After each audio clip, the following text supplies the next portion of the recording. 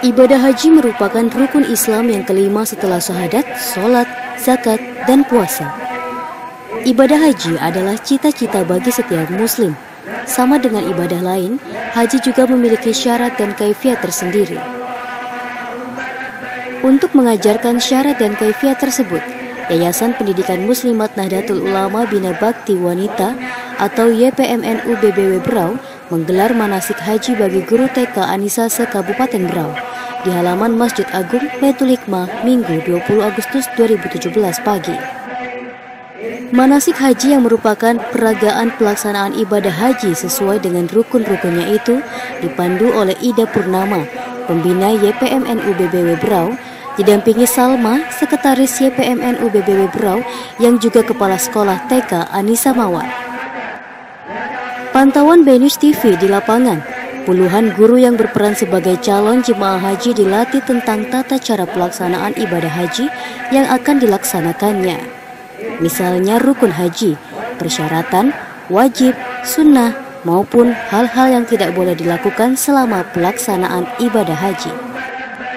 Selain itu, para guru juga belajar bagaimana cara melakukan praktik tawaf atau mengelilingi Ka'bah sebanyak tujuh kali sa'i atau berlari-lari kecil antara Bukit Safa dan Marwah sebanyak tujuh kali, wukuf di Padang Arafah, lempar jumrah, dan prosesi ibadah lainnya. Peserta manasik tampak antusias dan senang sekali saat mengikuti kegiatan tersebut. Panitia Manasik Haji Ani Alfiah kepada Benus TV mengatakan, kegiatan manasik haji setiap tahun rutin digelar oleh kedua puluh TK Anisase Kabupaten Berau yang tergabung dalam YPMNU BBW Berau. Hanya saja untuk manasik haji gabungan seluruh sekolah TK Anissa ini baru pertama kalinya dilaksanakan pada tahun ini.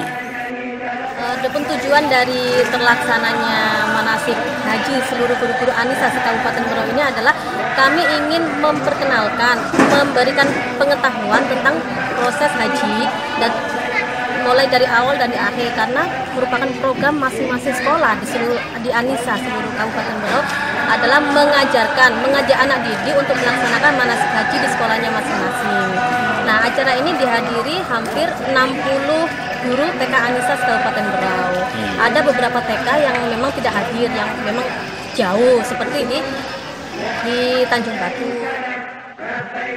Catur Indra, Venus TV melaporkan.